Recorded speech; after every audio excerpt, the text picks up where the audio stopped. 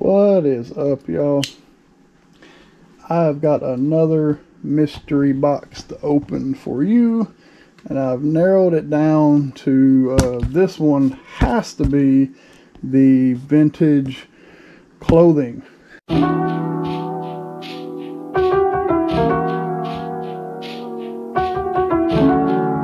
And if you've watched my videos, I opened one of these previously, and it was all uh, women's vintage clothing. And um, they were all really nice, but they were very much, um, um, I guess by vintage it meant that they were also for a vintage crowd. So it wasn't like women's vintage concert shirts or, you know, women's vintage for the crowd of 20 and 30 and 40 year olds. Just gonna leave that there. And again, I have no problem with that, but uh, some of them were heavily scented. They were also very delicate. By delicate, I mean the tags fell out when I cleaned them. And I had to clean them because some of them were stained. Anyhow, this box, uh, the description says it can be men's clothing, it could be women's clothing, it could be a combination of men's and women's clothing. They will all be vintage unless they're not, meaning there's a possibility something could get mixed in. They have pretty good disclaimers on the site that say we can screw up and you can't get a refund. But for the most part, the one time they screwed up, I got a whole bunch of extra clothes that I have more than profited on. So screw ups may not be bad. So vintage clothing lot. I'm just gonna smell check it. Hold on, hold on, hold on.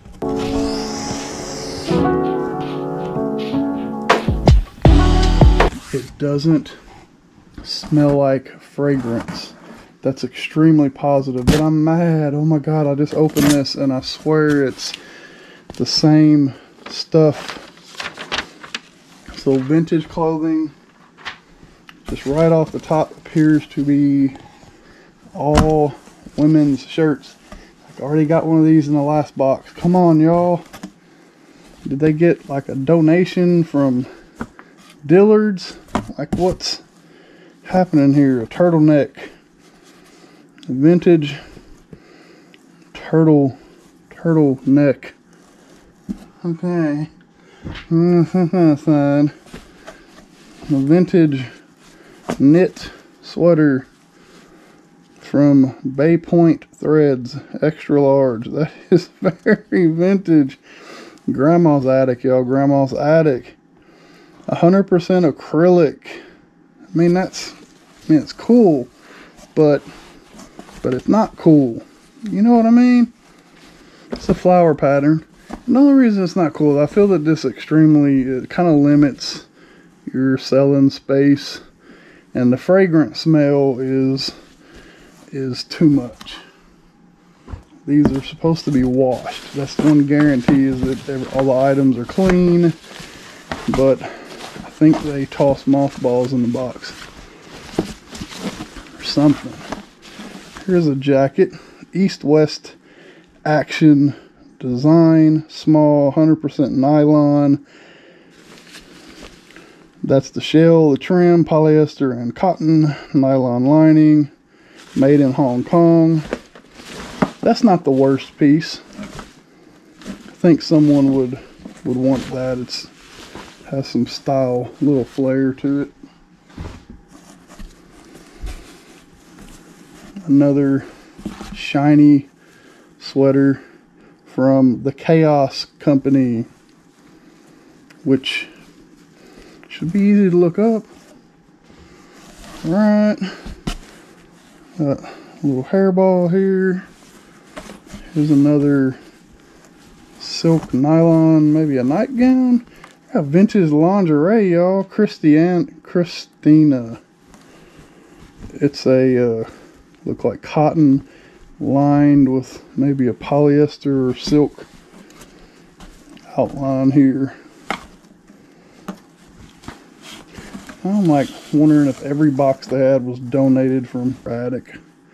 I don't know. It's vintage on the fence. I could possibly sell that. Just throw in one concert tee. I know you got them. Come on. Here's another flowery sweater. Aileen Petites. Made in America. Over for care. Over. 100% cotton, machine wash, Cold. no bleach, tumble dry. Remove promptly. To avoid wrinkles, I'm sure. It's a really wide neck. It's almost like a shoulder length neck hole. I guess that's a head hole, right? I don't know what it is. Don't listen to me. Wait, no, stay, listen. This looks like, is it a vintage Christmas sweater? No, it's another fish sweater.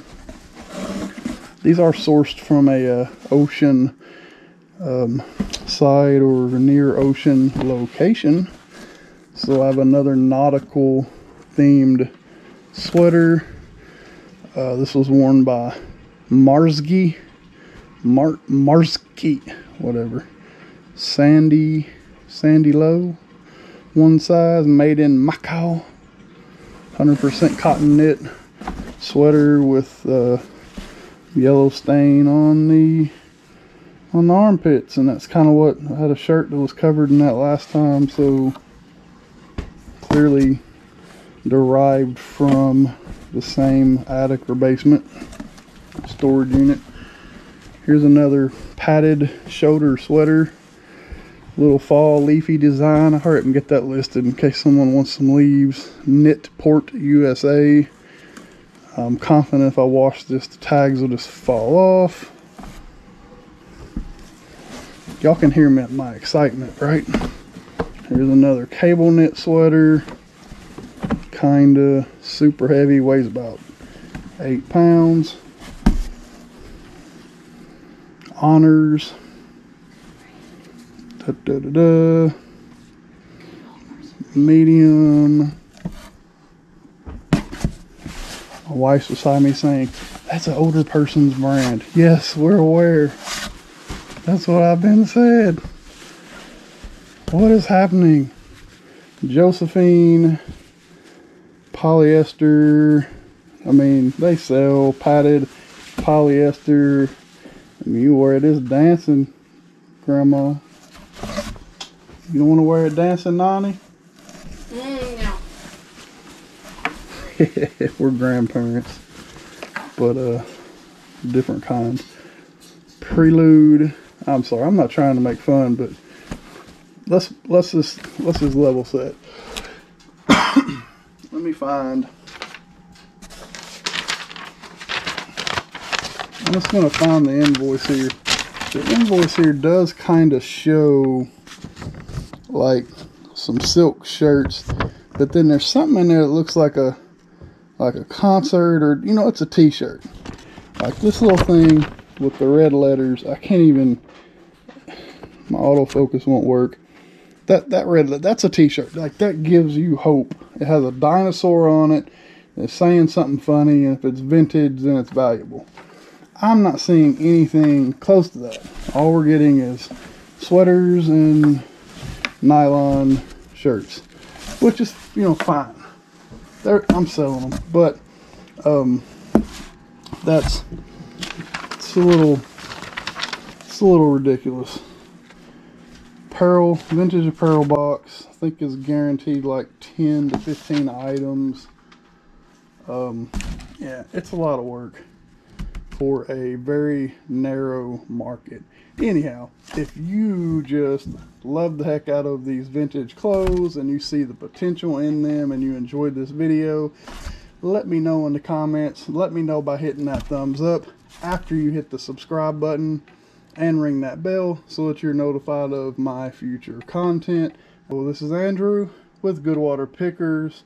We find what you love. Have a good night.